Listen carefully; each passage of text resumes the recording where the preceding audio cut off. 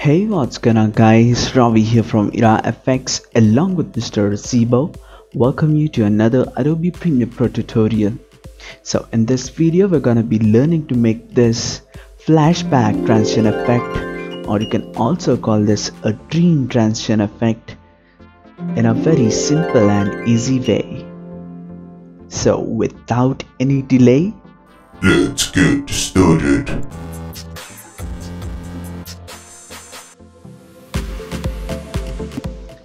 Alright, so I have a couple of videos in my project so let me drag each one of the video to the right side panel here so that a sequence is created.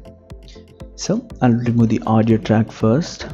Okay, so this is what I have. This is guy thinking here and we'll be applying a flashback effect between these two videos. It has to look as if this guy is you know thinking of his childhood when he's cycling. So that's the concept of having a transition here. You can also apply the same kind of transition if someone's streaming. You can usually notice this in some um, fantasy movies or some cartoons. So the first thing that we're going to be doing is uh, move to the point where there is, the, there is this transition happening between these two videos and I'll move 20 frames backward. 1 2 3 4 alright so at this 20th frame back backward I click on this razor tool here and cut this video at this portion. And I'll repeat the same for the second video as well. So I'll move 20 frames forward and cut this video exactly here. Okay and I'll select both these videos and hold alt on my keyboard and drag these two videos to the top just so that they get duplicated.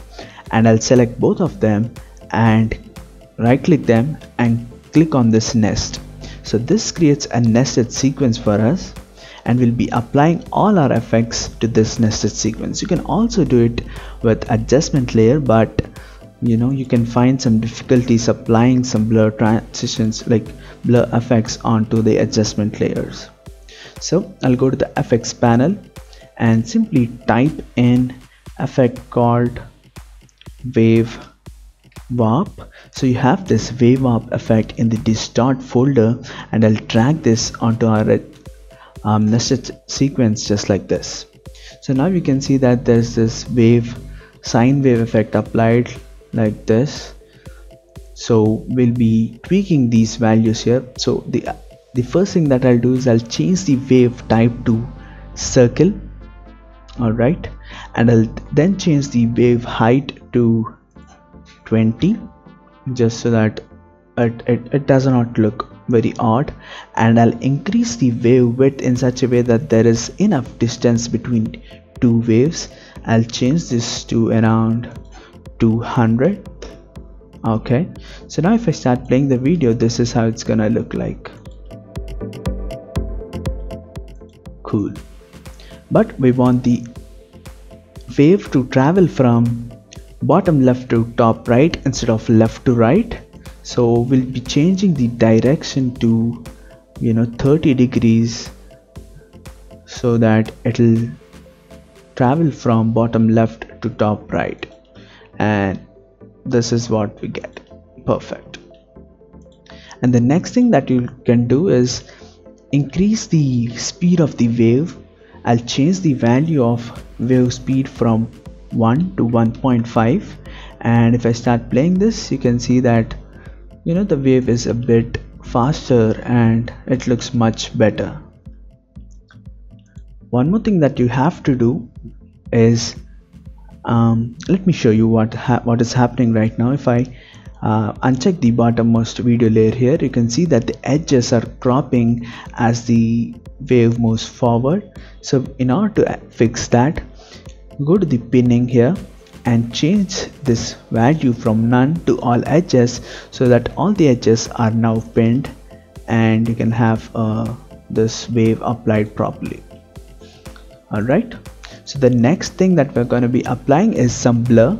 So from the effects panel type in blur and you have this camera blur effect. You can also use Gaussian blur but I'm using the camera blur and I'll drag this onto our nested sequence like this.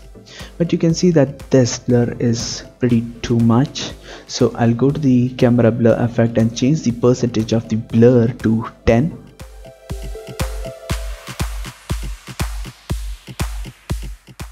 okay so this looks fine. So you can see that there's this smooth dreamy effect applied. But you can see that there's this hard you know very hard difference between these two frames here. We'll have to smooth this. So in order to fix that uh, make sure you're at the first frame of the adjustment layer uh, make sure that the timer is checked so that a keyframe is created at the first frame.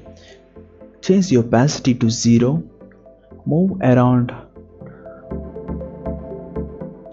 3 to 4 frames forward and change the opacity value to um, 100 or I feel uh, 80 would do good because it will blend very nicely with the bottommost video here to give a dreamy effect.